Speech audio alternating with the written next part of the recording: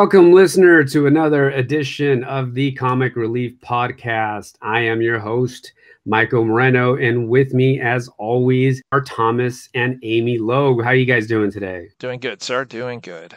Excellent. So, before we get into this amazing uh, season two wrap up of The Mandalorian, um, we have a sort of a somber announcement, huh? Yeah, so actor Jeremy Bulloch, who originally played Boba Fett in The Empire Strikes Back and Return of the Jedi, has passed away this past Thursday. Um, not long ago, David Prowse, who played Vader, also had recently passed. So it's it's been a rough year for Star Wars. Jeremy Bulloch had battled Parkinson's disease for quite a few years. Um, he had a long and happy career spanning more than 45 years. He was devoted to his wife, three sons, and 10 grandchildren, and they will miss him terribly, a statement said. Bulloch was best known for playing the bounty hunter Boba Fett in The Empire Strikes Back and briefly in The Return of the Jedi. Rest in peace, Jeremy Bulloch. And speaking of Mandalorians and Boba Fett, let's talk about The Mandalorian. What a, what a strange sort of ironic twist that he passed in between episodes of The Mandalorian that that just brought Boba Fett back into the the lexicon. You know what I mean? Yeah. Like, and uh, his legacy will definitely carry on for many more years to come. And now it's even more assured Yep. that it will. And before we continue on to um, to the Mandalorian discussion, we just want to let you know that there will be many, many, many so much spoilers. But before we get into the season finale, though, we I keep doing this whole before thing, before, before, before, before. uh, we have not yet discussed the episode before the season finale, the one where we got the uh, uh, the Bill Burr character back. What did you guys think of this episode? Now, I call it the shipment episode because that was the majority of it, where they're driving in that van with the highly volatile uh, stuff. uh, just to finish it off, Din Djarin has to find out where uh, Yeah. uh, he has to find the location of Moff Gideon, so he has to access an Imperial terminal. And in order to do that, he needs Bill Burr's character, who I forget his name, unfortunately. And they need to take him, they need to break him out of the scrapyard. Recruits Cara Dune because she is now a New Republic marshal to go take him out of the, sh- the scrapyard. Bill and is right. He's super weary. He's like, ah, what do you guys want? I don't, you don't know, right? They go to the planet. They, they basically they do the classic Star Wars um, steal, ste- stealing the armor of a stormtrooper to disguise themselves and infiltrate their, you know, the base or wherever they're going to. They break into the facility. They access the terminal.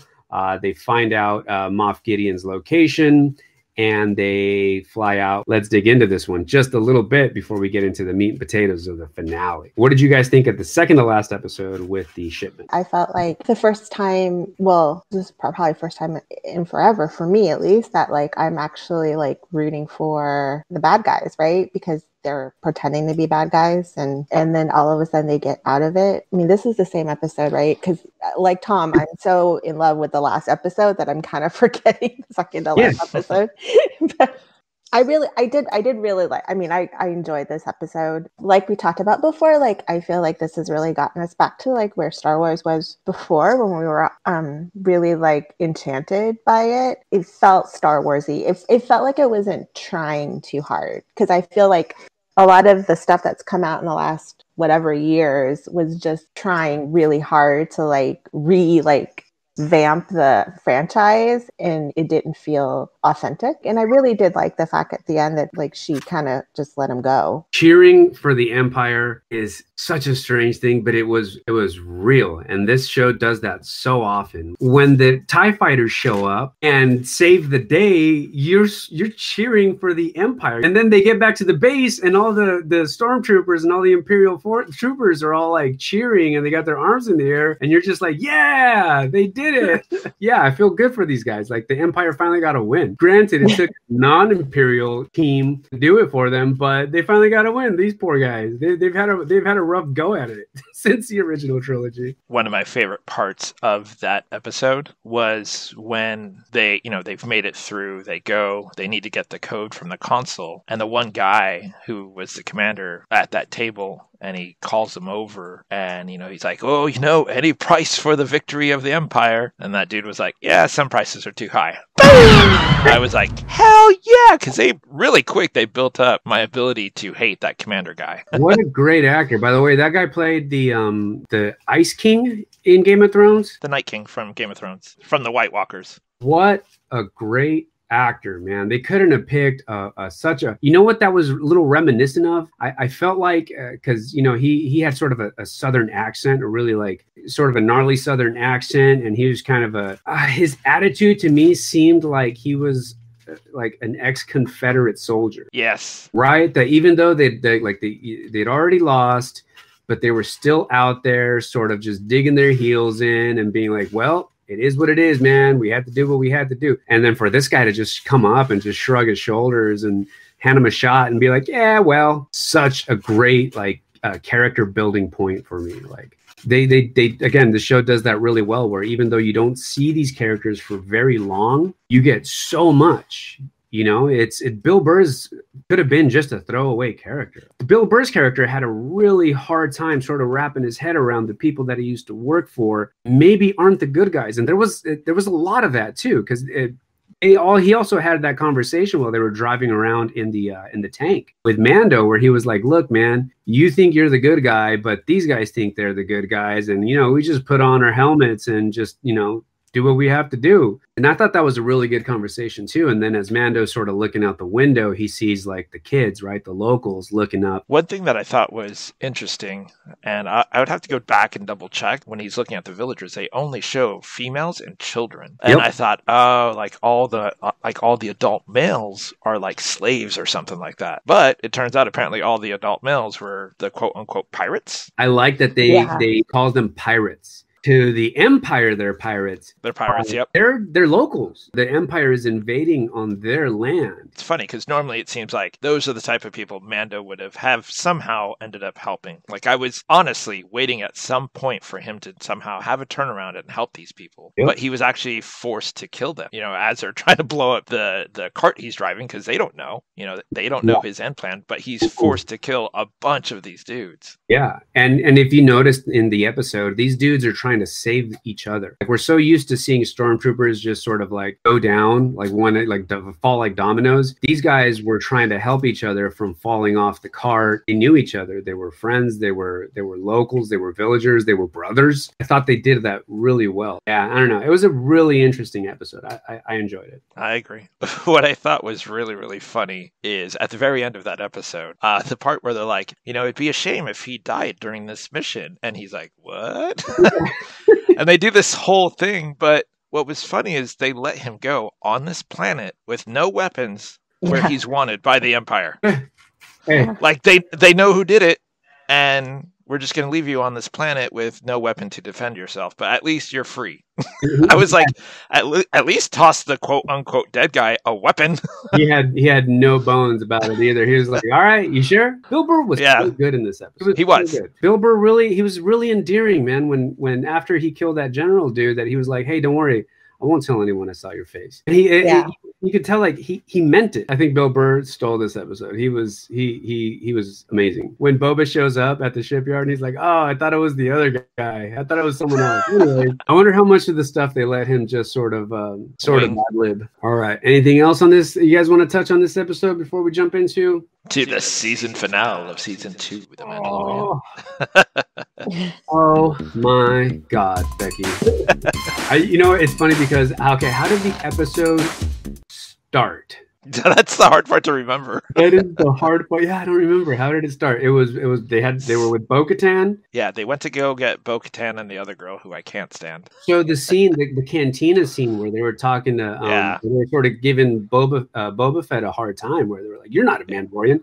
He's like, "I never said I was." So when they say he's not a Mandalorian, it's because he's not quote unquote a real boy because he's a clone. Yeah, mm-hmm. but that was a really good scene. It was a good fight scene too. I like when um it, it wasn't Bo-Katan. Bo-Katan was just watching. Yeah, the, the other, other girl. She did the um the spin with the jetpack around him. That was a good fight. The only part I didn't like about the fight was the very end where they both flame torch each other, and but neither of them are really being burned. Like somehow the flame torches are canceling each other out in the middle. I don't think that's how fire works. Like mm. the fire was literally very like cartoon like, yeah. stopping in the middle. You know, like when one person shoots a beam, another sh- person shoots a beam, and they hit yeah. in the middle, and yeah. they're trying to push the beam one side or the other. That's exactly what the fire did. It just kind of stopped in between them Oh, that was kind of a lame end for me to that fight because everything up to that was awesome. Yeah, I, I feel like that fire thing though might be a nod to Dave Filoni's past on Avatar: The Last Airbender because firebenders would do that. You know, when you Oh, I see see. firebenders and they blast at each other, the flames would just meet in the middle. And what happens next, Amy? Oh my gosh, I don't even.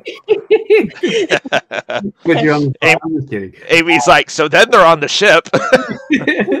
Can we just fast forward to the ship? so what they were going to do is they were going to fake that the Lambda cruiser was being under was coming under attack by the Slave One, Right. and they plugged the uh, the chute that the Tie fighters come out of with the Lambda cruiser so that no more Tie fighters can come out. They just let Boba do what Boba does and just wreck the Tie fighters. when his turrets on the top flipped to shoot behind him, I was like, oh, Dude, my my Slave One moment was when you could see the cockpit rotating because I always oh, wondered so like good. When when Boba and Django get in the ship, are they laying back?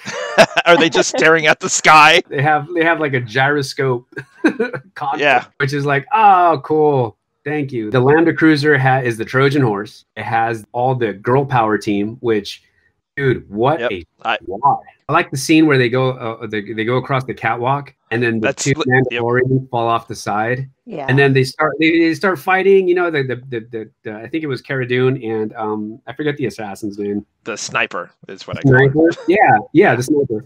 Uh, they're still there's now they're sort of uh, flanked on both sides, you know, from the front and the rear, and then of course the the Mandalorians rocket back up and just start wailing on them. Other than when we get towards the end, I think that was probably my favorite scene. But uh, I was gonna say if if I were putting together a uh, turn-based RPG team with these characters, like that would definitely be uh, my four-man squad right there. I would add Brianna Tarth. On the side, I'm also watching the final season of Game of Thrones, which I hadn't seen. And Brianna Tarth is awesome. Mando stays behind on the Lambda cruiser, right? That's plugging up the the the Tie Fighter hole. He sets out to go find the child. Keep in mind, it was also Mando's job to stop the um, Dark Troopers or whatever they're called Oh, the Dark Troopers, yeah, yeah. on the way to go get the child to stop them. Moff Gideon's cruiser is running on a skeleton crew, but they have something, what was it, like 20, 15 to 25 dark troopers. He had a, what was it, like a minute or something to stop them from booting up and just to, Mhm. to lock them away. Yeah, real quick, I want to just add the whole reason that Bo Katan agrees to help is that she gets to keep the dark um, saber. the sh- yeah. the dark saber and the ship to retake Mandalore. Have a feeling that will be important later. Oh, we're, we're going to get into that in a second. But Mando's on his way to go seal the door on the um, on the dark trooper. It's there just in time. Like one dark trooper gets out. yeah, How the door's closed, but one of them gets his hand through. one of them gets through. How great was that scene, man, between Dark Trooper and Mando? You mean where it pummels Mando through a wall? that part? He was so out of his league. Yeah, I mean, he used every weapon in his arsenal. He used his flamethrower. He used his little dart things that fly out. I, I like that scene Serves so many different sort of elements. It sets up how strong these Dark Troopers are, right? And he gets pummeled. I love the scene where he's just getting punched into the wall until he took out his beskar staff. Yeah, the spear thing. Yeah, the spear. So it was satisfying to see him just totally wreck this dark trooper with the spear. And then I thought, well, okay, that would be the resolution to the episode was he's just going to take a spear and go ham on all these troopers. And then he just opens the vacuum door. and lets them all out. This time around, though, they're not living creatures, and oh yeah, they have rocket feet, which we saw in again the episode where they kidnapped the um, the child. Just FYI. And I don't remember if Bo-Katan leads Mando to where the child is. No, um, Mando he just walks he knows in, the way. Yeah. Yeah. And he Ah. sees that um, Moff Gideon basically has the dark saber to the child. What a great scene. So, Moff Gideon is a very smart individual. He knows that if he loses the dark saber, if he loses the fight to Mando and Mando takes the dark saber, that will pit Bo-Katan against Mando. Oh, another thing that Moff Gideon said that was uh, very telling, and again for the audience, was he said, "Just assume that I know everything." Spoilers: uh, Mando defeats Moff Gideon. Uh, I mean, after going up against the Dark Trooper, I feel like Moff Gideon was probably uh, a nice cool down workout. he was not getting his head pummeled into the bulkhead. He has Moff Gideon captive, right? Because uh, Cara Dune wants him alive. Bo Katan wants the ship. And wants uh, the dark saber. Once they get to the bridge, there's this moment of realization. Moff Gideon sort of has this. If he, I felt like if he had um, a twirly mustache, he would have he would have been twirling his mustache in that scene where he sort of chuckles. He's like, "You fool! You fell right into my plan." You know? Do you guys understand the sort of the meaning behind the dark saber and and and why Bo Katan can't take it back? Tell us why, Tom. I want your take on it. So after Mando brings in Moff Gideon and he's like, Here you go, here's the dark saber. And he starts chuckling and laughing and saying, Yeah, she won't take it. She can't take it. It has to be won in combat. And so he says, Okay, fine, I surrender. Take it. And he says, No, no, no, because it's about the story of the dark saber. That is what's important. And that whoever has the dark saber will rule over Mandalore. I'm sorry, I'm just trying to remember if, if Moff Gideon dies. He tries. Yeah. Like a trying. So, so you remember when they came into the bridge, they fought a bunch of dudes and knocked him out. Moff Gideon landed when he was thrown. He landed next to a gun. I noticed that and kind of threw his his cape over it to hide the gun. So then when he stands up to basically Oh, first right, right, once he realizes someone's coming, he tries to kill the child. Mando jumps in front of him and then he puts the blaster to his head, but Yeah. I can't remember who it is, but someone stops him from Yeah, it was- it pulling was, that uh, trigger. a Disney executive came in and knocked it out of his hand. We can't sell if you if you die. Don't you listen to the podcast? So Ma- Moff Gideon was the last owner of the dark saber, correct? And then Mhm. Mando won it, but Mando didn't kill him. yeah, it might have not been to the death, but I think it has to be in combat. Uh, if you watch the, um, I believe it's, I, I'm sorry, I get Rebels and Clone Wars mixed up because I saw them out of order. But the way that Bo Katan first got, because Bo Katan used to have the dark saber, her sister Sabine found the dark saber and handed it to her because she, you know, everyone felt that she was the rightful ruler of Mandalore. She's already been given, it's already been given to her once, and she somehow lost it to Moff Gideon, and then for it to be given to her a second time without her earning it is too much. Oh. They say, "Oh yeah, remember she got it and then she lost it and then she got it back again." And well, who did she defeat? Oh no, uh, this other guy uh, defeated and then just yielded it to her. It's it's it's not going to rally the Mandalorians to her side. Right. So now we've got everyone's in the cockpit. The bridge, yeah. This is when it happens, or Yes. Mhm. You remember they say, hey, we have small objects coming back towards us. And they realize it's the Dark Troopers because, as Maico said, they have jets. They don't need to breathe. They can just fly right back into the ship. Close the blast door, they close it, but then the two in the front just start hammering away in a rhythmic beat on the door. And you can see from the other side of the blast door where they're inside the bridge that it is putting a dent in the blast door and that they are going to get through. And Moff Gideon says, You might as well realize once they get through, everyone in this room is going to be dead except for me. And things look pretty hopeless for our heroes. then that's the end of the episode. So anyway, yeah, and it fades to black. that would have been awful. You see a single X-wing fighter. Who can it be? You know, at first I was like, oh, obviously, right? I'm sure everybody else also thought it was Luke. But then I was like, maybe, hmm. Started thinking maybe it could be Ezra, possibly Ezra. That's so funny. That's what I said. And then once you see like the cloaked figure come out, I was like, well, now I know who it is because that made it very clear. I mean, I saw the cloaked figure and I was like, oh, oh, oh. And then the green saber pops out and I was like, oh, yeah. How good was that friggin' scene of just Luke chomping through all these droids? I think so. That was awesome. But I think my favorite one is it was right near the tail end of him chopping through him. He gets to that one, just extends his hand and closes his hand. Um, And you see the robot just start collapsing into itself. And I was like, oh, that is so good. Yes. Didn't you feel that it was that the scene was uh, reminiscent of the Darth Vader scene in the uh, Rogue One? It's something that Amy had mentioned um, uh, on a phone call. She said that she she didn't know that the Jedi actually did those like crushing force choke type moves. Like, how do you how do you what do you feel about that? Before I get my opinion. To know your enemy, you have to also have their power, understand their power. I think the Jedi, however, don't use it against a living being ever, but I could certainly see them using it against a robot because they're not destroying a life, they're just putting a machine down.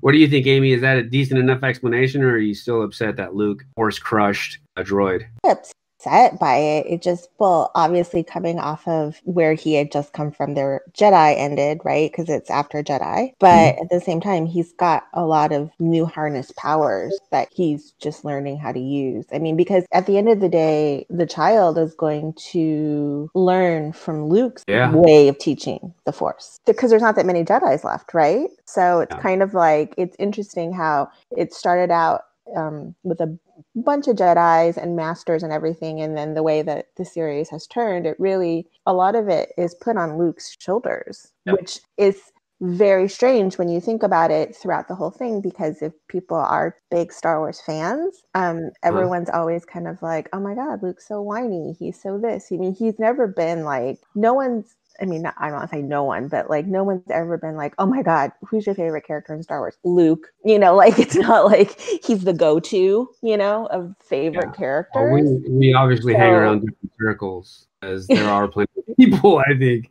that like Luke. So there's there's Luke from the movies and there's Luke from the extended universe. And the Luke of the extended universe is he's considered to be one of the greatest Jedi to ever live. We've never seen yeah. that in yeah. popular media. You know what what this show does? They did this for Boba Fett and they're doing it for Luke. So for years people have claimed that these two characters some of the the coolest, baddest characters that we just have never seen do their thing. Now we see where Luke is at. We've seen what Boba Fett can do. Uh, we hadn't seen that in the movies. I always kind of felt Boba Fett got a lot of props for not having very much face time in movies. Every guy I think I've I've ran into who's like Star Wars or buyers that I've worked at with um, stores and stuff like that. Like mm-hmm. I'm always like, "What's your favorite like character?" And you know, I would say two out of three times it would always be Boba Fett. But when you really look at it, you're like, "Well, how much time did he really get on screen? Like, is it because he's a bounty hunter?"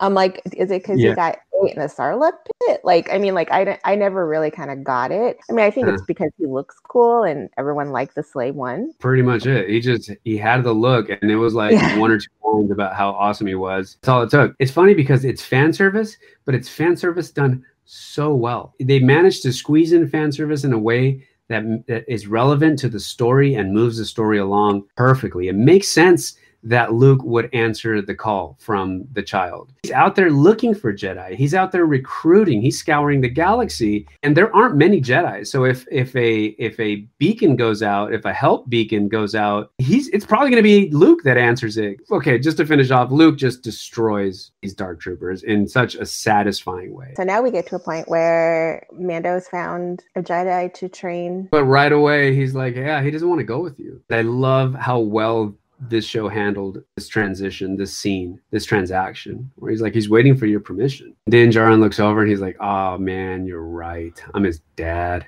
And that scene where he pulls the hood back and they have the, you know, the interaction and the child and Din Djarin. And I, I, I teared up a little bit, man a little bit. Oh, for sure. Especially when he takes off his helmet. Very reminiscent, right, of when Darth Vader dies and he asked Luke to take off his mask so he could see his face. I mean, it was very um like a callback to that a little bit, you know? You well, that's know, actually like, a good point. Great. I hadn't even thought of that. Great point. You know, the father taking off the helmet to show son the face and everything. Like that was, yeah, you're right. How great was that Luke was just so he just was like such a calming force. He's he felt wise. He felt like a Jedi. And how cute was it when R2 saw Grogu? Because I mean, because you know he was at the the temple, and they were in the temple probably together, so he probably knew him because he was so excited. Yeah, they knew each other. They they all they both um waddled at each other, like you know little their little waddling thing that they do.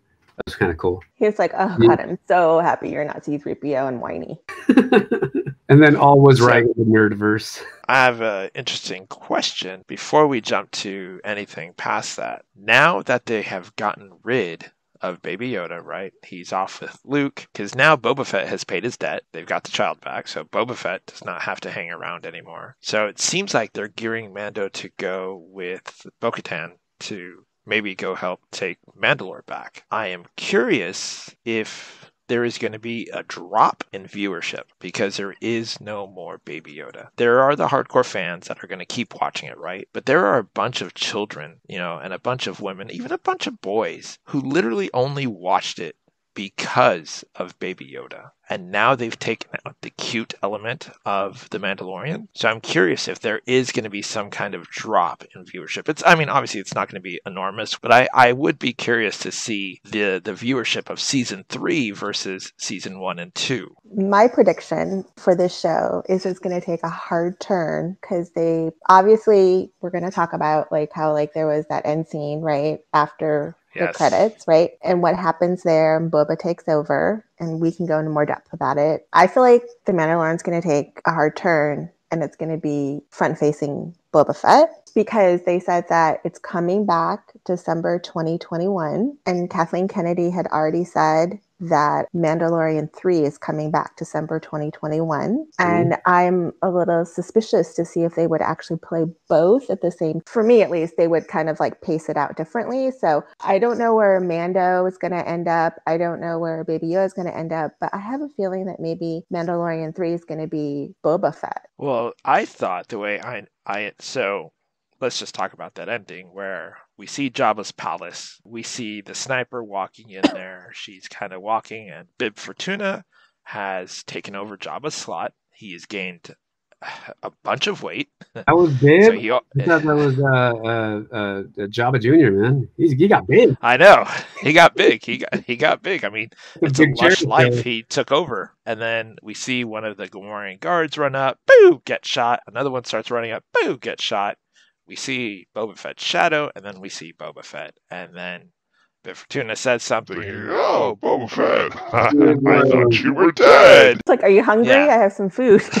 you want to eat? Boba Fett proceeds to shoot him and kill him and sits on the throne. Now he's kind of like oversees the underworld. Yeah, the yeah. underworld, the shadow market. My impression of when we see at the very end, he's sitting on the throne, and it says Bo- the Book of Boba Fett, December 2021 to me, I thought that was indicating a new show, a separate show that would focus on Boba Fett. Because what Disney could easily do is the Book of Boba Fett comes out on Monday, Mandalorian comes out on Friday. So you're still making it so it's two separate shows that are not directly competing.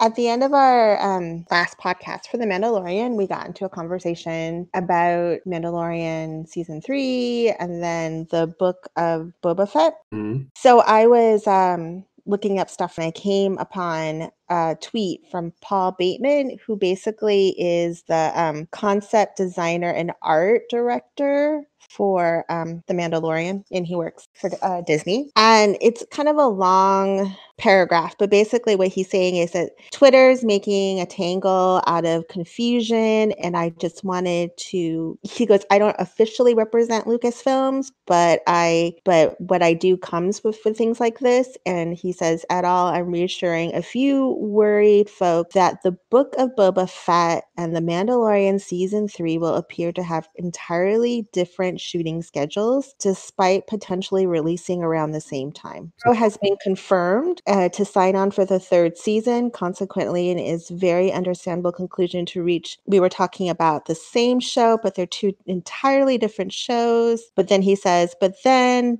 it's still 2020 and i suppose anything can happen so my theory was wrong and, the, and they've also confirmed that the all these shows are going to culminate into a defenders type show there's going to be the threat of uh, something much bigger. I suspect it's going to be Thrawn. I, I suspect yeah. that the story is going to go into the Thrawn story with Bo-Katan and Ahsoka. Because what if they do find they finally get to Thrawn and like the season finale reveal is, or they finally get to Ezra and the season finale reveal of that season is that he's a dark Jedi. Anyways, I'm know I'm tapped out. That was a great season. That was an excellent season of the uh, the Mandalorian. Thanks everyone for joining us on this uh, wrap up of The Mandalorian season two. Thomas, uh, please let us know where can we find the Comic Relief Podcast. All right, you can find us on www.comicreliefpodcast.com. You can go to facebook.com forward slash Comic Relief Podcast. You can go to twitter.com forward slash Comic Relief Pod C. And there's also an Instagram, which is instagram.com forward slash comic relief pod C. The outro will correct any mistakes I may have just made as to where you can find us. Thomas, Maico, and Amy will return in the next episode of the Comic Relief Podcast. How about uh, we go out on a moment of silence for uh, Mr. Jeremy Bulloch and uh, in remembrance of his great work and his great life.